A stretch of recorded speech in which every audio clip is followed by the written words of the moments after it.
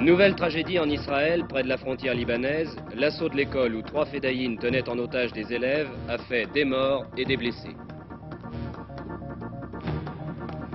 Deux nouveaux présidents de la République ont pris leurs fonctions aujourd'hui, Walter Schell en Allemagne fédérale et le général de Spinola au Portugal. C'est la fin officielle de la dictature dans ce pays. Dénouement les meetings des candidats à l'Élysée, M. Mitterrand définit le rôle du président de la République à Saint-Étienne et M. Giscard d'Estaing parle de la petite entreprise à Valence. Dénouement heureux pour les deux otages des gangsters de Champigny-sur-Marne. Une femme et son fils ont été relâchés sains et saufs, mais les bandits, eux, courent toujours. Finale de la Coupe d'Europe de football ce soir à Bruxelles. Dans un quart d'heure, le match Bayern de Munich-Atlético de Madrid commence. Les Allemands partent favoris. Mesdames, Mesdemoiselles, Messieurs, bonsoir. Combien de morts Combien de blessés Ce sont les questions angoissantes qui se posent après le dénouement tragique d'un nouveau coup de main palestinien en Israël. Les informations en provenance de Mahalot, un village de Haute-Galilée, sont encore imprécises, près de trois heures après l'assaut donné par les forces israéliennes. Mais, je viens de l'apprendre, ce n'est qu'un bilan officieux, on parle de 15 à 20 victimes parmi des adolescents. L'organisation palestinienne qui revendique cette opération affirme que les trois fédéines retranchées dans une école, avec une centaine d'élèves comme otages, ont fait sauter le bâtiment. Du côté israélien, on reconnaît donc qu'il y a des victimes, peut-être 15, 20 morts parmi de jeunes écoliers, mais en ajoutant qu'un certain nombre de ces enfants ont pu quitter l'école vivants. En raison des délais d'acheminement entre la Haute-Galilée et Paris, nous ne recevrons que dans la soirée les images du dénouement de ce drame. Mais voici les premiers documents qui ont été filmés ce matin à Mahalot. Mahalot, comme Kiryat Shmone, est entré dans l'histoire douloureuse d'Israël à l'aube de ce 15 mai, 26e anniversaire de la création de l'État hébreu. Il était 3h50 ce matin lorsque trois hommes armés font irruption dans l'école de Mahalot, où reposent 120 garçons et filles de 12 à 15 ans. Ils font une excursion en Galilée et ne se doutent pas qu'ils sont déjà des otages. Les Fédayines, qui se réclament du FDPLP du docteur Awatme, les réunissent.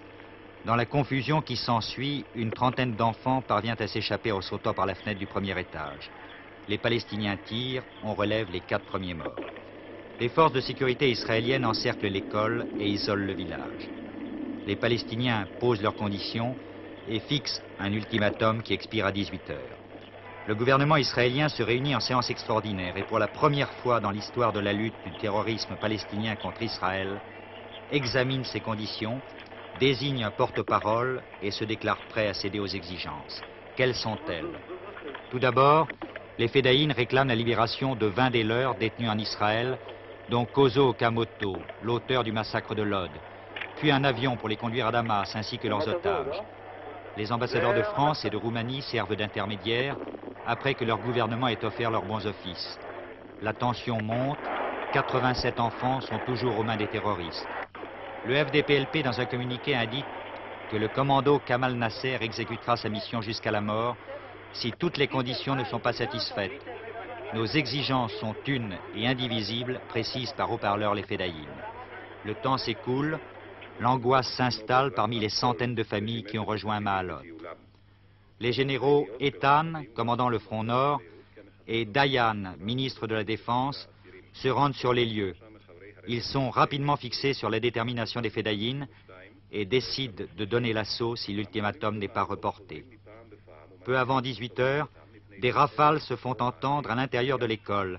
Les troupes donnent l'assaut, une partie des enfants saute par les fenêtres et c'est alors l'explosion. Les Fédayines ont mis leurs menaces à exécution. On ignore encore le nombre exact des victimes, mais le fait qu'il s'agisse d'enfants est révoltant. Israël ce soir est en deuil, les yeux rouges, Simone Pérez, ministre de l'Information, a déclaré « Nous avons dû, le cœur lourd, donner l'assaut ».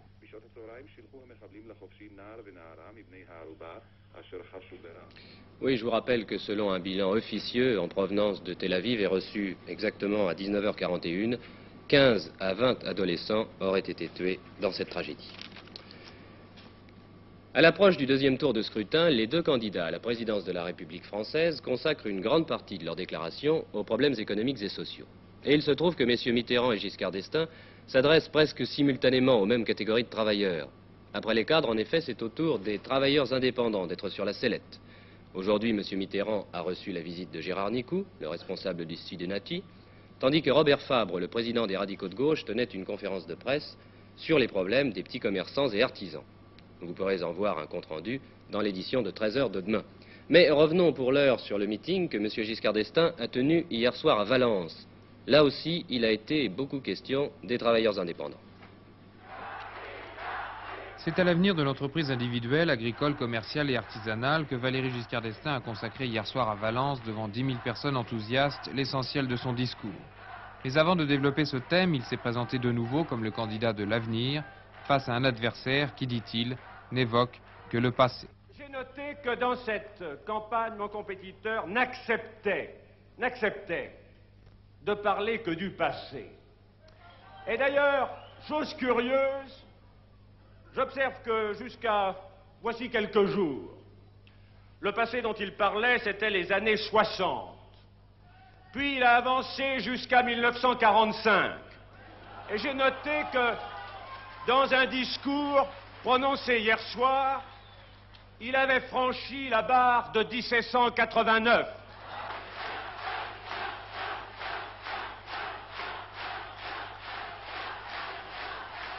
Alors, à l'allure, à l'allure où il va, on va le retrouver bientôt à la bataille de Marignan et pour terminer à celle de Poitiers.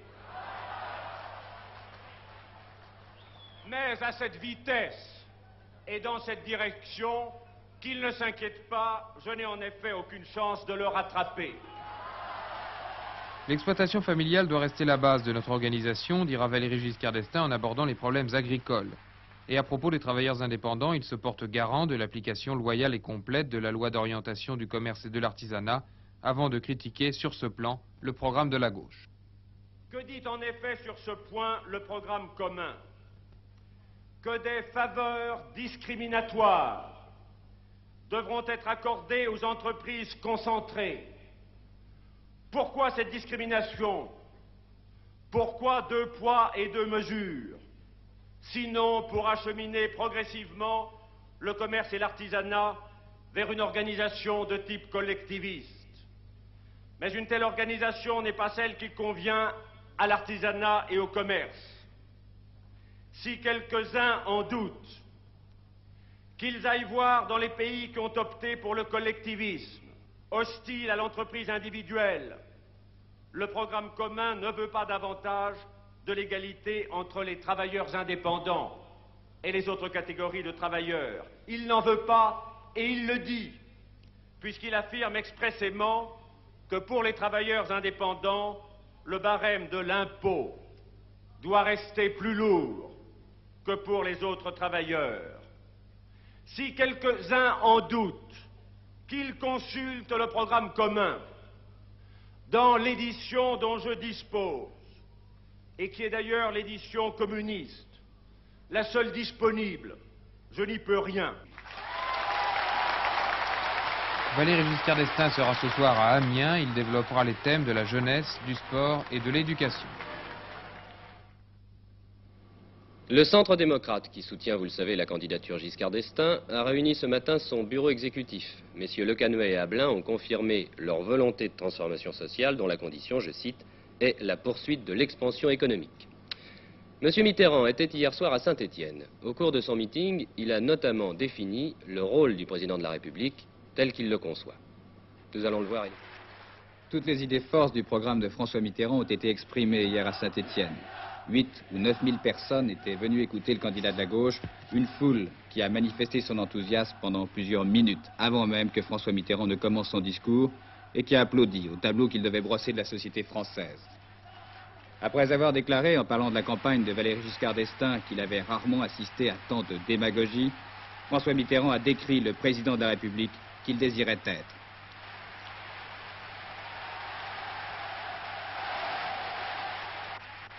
un président de la République qui n'ait pas besoin d'être déguisé, qui sache encore marcher en pied dans la rue, serrer la main et regarder dans les cinémas de quartier ce qu'il est possible d'y voir, pour peu que ça vaille la peine. Et d'autre part, et d'autre part un président de la République qui s'estime soumis aux lois et surtout aux lois qui l'inspirent. Il me semble que par je ne sais quelle contradiction, la France démocratique d'aujourd'hui cherche à imiter les fausses splendeurs du temps où l'histoire de France s'écrivait avec la naissance des princes ou le mariage des princesses. Moi, je veux avec vous fonder l'histoire qui s'écrira avec les travaux de notre peuple. Et j'entends être le président de la République qui commencera cette époque de notre histoire où chacun se reconnaîtra en lui-même parce qu'il sera comme les autres, investi d'une majesté suprême puisqu'il représente le peuple, mais homme parmi les hommes, rentrant chez lui et la responsabilité achevée, redevenant ce que quelques autres ont su redevenir, celui qui prépare ses derniers jours en méditant sur la vie du pays, sur les malheurs et les misères du peuple et sur les espérances, avec, je l'espère bien, dans le secret de sa conscience, le sentiment d'avoir, pour sa part, tenté de faire avancer sur la rude route du progrès des hommes, quoi donc, une étape peut-être, encore loin du but, sans doute, mais avancer, et avec vous, c'est cela la dignité d'un président de la République. François Mitterrand était très souriant hier. Les traditionnelles distributions de roses et de poignées de main ont peut-être duré plus longtemps que d'habitude. En tout cas, elles furent particulièrement chaleureuses.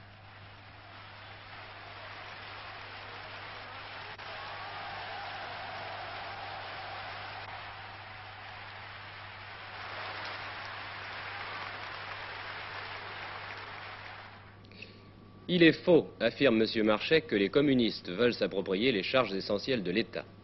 Cette phrase résume, je crois, l'esprit dans lequel Georges Marchais a tenu ce matin une conférence de presse. Le secrétaire général du Parti communiste a précisé comment le PC envisageait de participer à un éventuel gouvernement de gauche. Nous l'avons dit depuis le début. Le Premier ministre que désignera François Mitterrand s'il est élu ne sera pas communiste. Dans le gouvernement, nous aurons notre place à égalité de droits et de devoirs avec nos partenaires. Cela conduirait, avons-nous expliqué pour illustrer cette idée, à ce que dans un gouvernement de 20 ou 21 membres, il y ait 6 ou 7 ministres communistes.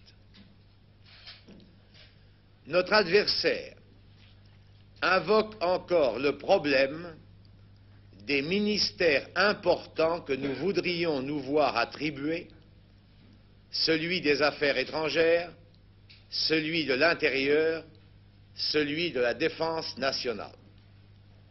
Non. Ce qui nous intéresse, ce n'est pas d'occuper à tout prix tel ou tel fauteuil ministériel, mais de voir appliquer l'ensemble de la politique nouvelle voulue par le pays. Tout le monde s'accorde pour considérer que dans un grand pays développé comme le nôtre, les fonctions importantes d'un État moderne ne sont pas seulement celles de la direction de son armée, de sa police et de sa diplomatie, mais que sont également essentielles le plan, l'économie, l'équipement, le travail, le logement, la santé publique, les relations économiques internationales, l'infrastructure des transports et tant d'autres questions. Se fondant sur une telle appréciation, la question des ministères importants dont notre adversaire tente de faire un problème n'est donc ni pour nous ni pour nos partenaires une source de difficulté.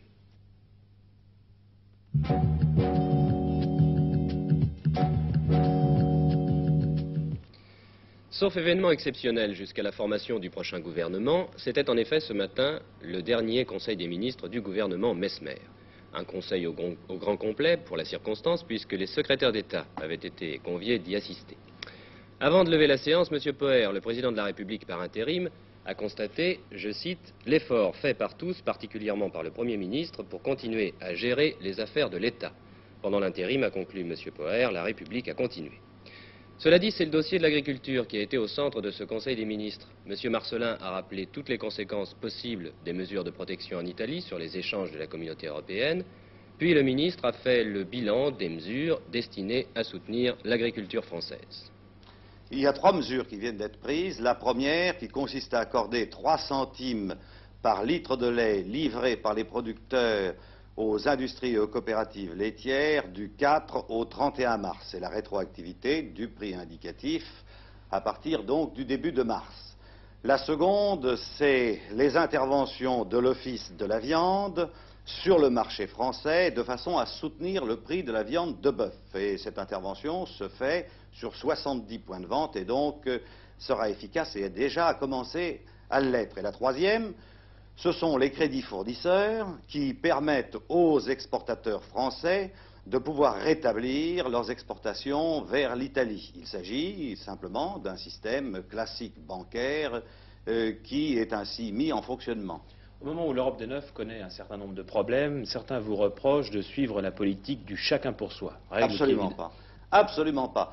Toutes les mesures que nous avons prises sont prises dans le respect des règles communautaires de Bruxelles auxquelles nous tenons par-dessus tout parce que le marché commun, c'est l'avenir de l'agriculture française. Et les gouvernements français ont tout fait dans le passé et continueront à faire tout ce qui est en leur pouvoir pour que le marché commun agricole soit entièrement respecté et contre tous et envers tous.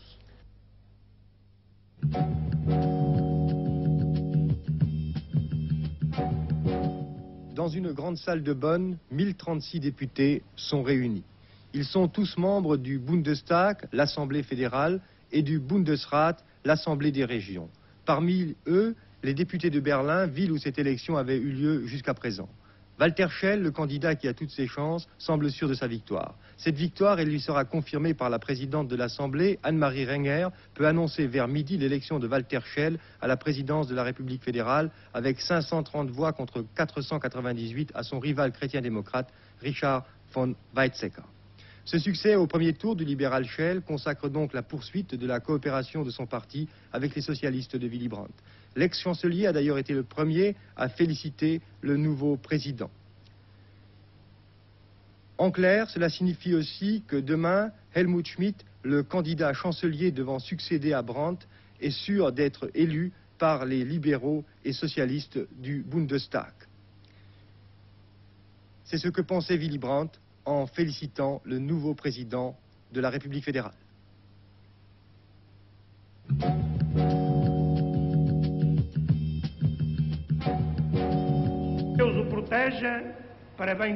Onzième président de la République portugaise, le général Antonio de Spinola, 64 ans, a prêté serment cet après-midi dans la salle des miroirs du palais Queluz à 10 km de Lisbonne. C'est le général Costa Gomes qui vient de lui donner l'accolade. Le général de Spinola, en grande tenue, portait son collier de l'ordre de la Tour et de l'Épée, la plus haute distinction portugaise reçue à titre militaire. Après-demain, un gouvernement sera formé et, a dit le général d'Espinola, une fois ma tâche accomplie et ayant remis le flambeau au président de la République élu librement par le peuple, je retournerai au sein des forces armées.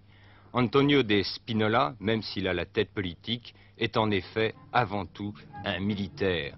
Officier de formation classique, il s'est surtout illustré dans la lutte anti-guérilla en Afrique, en Angola et en Guinée-Bissau.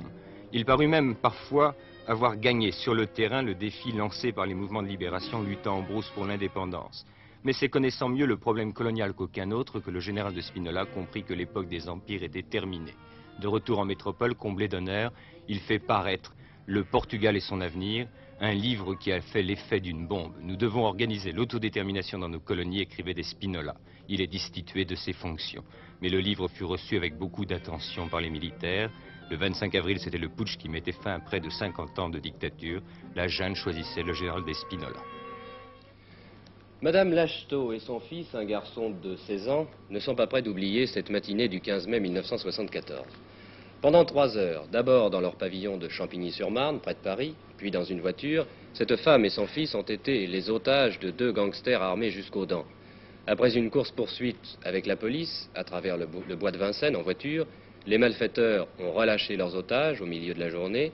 La famille Lacheteau, à ce moment-là, a commencé à respirer, à se remettre de ses émotions. Mais quelle frayeur. De ce portail va sortir le petit Bruno, 9 ans, menacé par le revolver d'un des gangsters. Il est retenu comme otage, comme sa mère, également menacée par un complice. Regardez.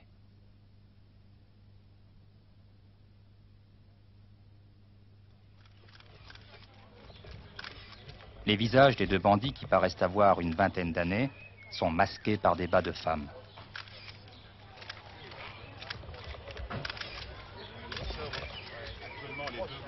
Il y en a un de couleur là. Oh, un est monté au volant, l'autre est monté. Deux heures avant, vers 9h30, quatre gangsters, dont une femme, effectuaient un hold-up dans une banque de Champigny. Mais l'alerte est donnée très vite. Je vois les gens, euh, les, les, fameux gangsters qui traversent et puis qui montent dans une voiture stationnée sur la place en face. Et puis, bon, bah, moi, je les ai vus monter dans la voiture, et j'ai vu un employé de la banque sortir et crier euh, vite, vite, vite, appelez la, la, police, appelez la police. Alors, moi, je me suis précipité au téléphone, et c'est à ce moment-là que Bernard est sorti et a vu la suite. J'ai pris l'appareil, et aussitôt, bien entendu, le commissariat m'a demandé des explications. Alors, vous commentiez pendant que ça se passait C'était pour ainsi dire un, un, reportage, si on veut qu'on est en train de se faire. Tous les deux, lui était sur la rue, et il me racontait ce qui se passait. Un des bandits prend la fuite immédiatement, le reste de la bande s'engouffre dans une voiture, poursuivie par un homme avec le moteur. Courir dans la rue de Verdun. Alors avec ma mobilette, j'ai entendu au voleur, euh, j'ai entendu la sirène. Que moi je me déplace? Je les ai suivis avec ma mobilette. Puis là, il euh, y a un noir, un petit jeune qui s'est amené il y a une quinzaine d'années. On n'a rien compris alors. Là, ils l'ont rattrapé, ils ont dit s'il y en a un qui bouge, on le flingue. Alors nous, on a, on a été obligés d'arrêter, on les a laissés. Les malfaiteurs, sur le point d'être arrêtés par la police, se réfugient dans une maison à quelques centaines de mètres de la banque et font irruption chez Madame Lacheteau et ses cinq enfants, désormais retenus comme otages. Deux heures après, les bandits repartent, emmenant Madame Lacheteau et son fils Bruno, dont nous avons vu le départ. Ils sont libérés une heure plus tard.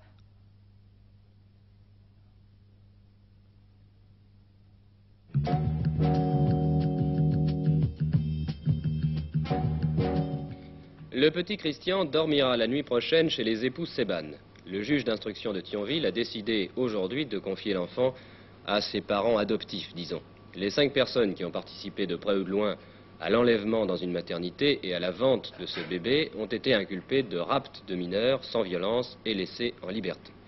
Madame Seban, quels que soient les reproches qu'on peut, lui faire, a donc retrouvé son enfant, un enfant qu'elle a toujours bien traité, et vous allez voir son émotion quand elle a quitté le bureau du juge. La brigade du commissariat de la police judiciaire à Metz, parce qu'ils ont tous été gentils, c'est même pas des policiers, c'était des amis, parce qu'ils ont tous très très bien compris hein, cette situation. Je les remercie vivement, même au nom de mon mari qui n'était au courant de rien du tout.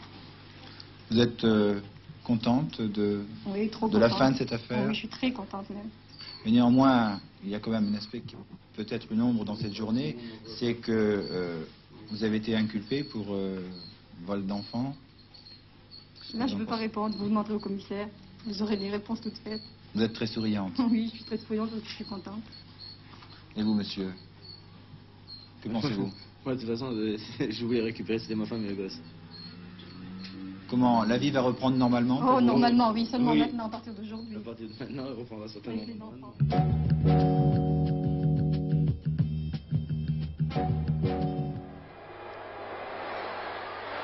En direct du stade du Heysel, en effet, à Bruxelles, pour cette 19e finale de la Coupe d'Europe des clubs champions, la troisième d'ailleurs à se disputer à Bruxelles. Ce soir sont aux prises, depuis 9 minutes maintenant, le Bayern de Munich contre l'Atlético de Madrid. Les Espagnols ici venant d'attaquer, les Espagnols qui vont bénéficier d'un corner, qui joue par conséquent en maillot rayé. Score toujours 0 à 0 après 9 minutes de jeu. Disons que c'est la première fois que ces deux clubs se retrouvent en finale de la Coupe des clubs champions, car jusqu'ici, ces deux grandes équipes européennes n'ont réussi qu'à gagner que la Coupe des vainqueurs de Coupe. Certes, l'Espagne a déjà remporté cette Coupe des clubs champions à surprise, mais avec le Real de Madrid, alors que L'Allemagne n'a jamais remporté l'épreuve. Les tribunes de Heysel sont pleines, mais les spectateurs ne sont pas belges en majorité. 60 000 spectateurs, mais surtout 35 000 Espagnols et plus de 10 000 Allemands. Donc pour l'instant, 10 minutes de jeu, une attaque ici par Beckenbauer pour le Bayern de Munich. Tentative de tir, sera-ce le premier but peut-être? Eh bien non. Donc 0 à 0 ce soir à Bruxelles dans la finale de la Coupe d'Europe des clubs champions. Et une dernière information de football encore. Ce sont des ennuis pour l'équipe de France qui doit rencontrer l'Argentine samedi au Parc des Princes.